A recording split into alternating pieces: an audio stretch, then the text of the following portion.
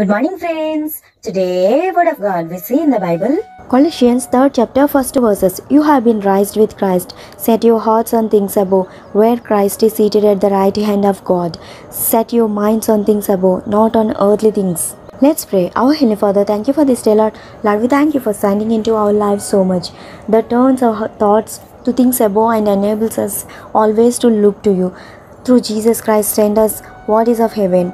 Send what is of heaven into every single life and into the lives of the nations, so that something good may arise and the glory does not go to the devil but to your spirit, your heavenly spirit alone. In their stubbornness, people intended to do evil, but you can turn it all to the good.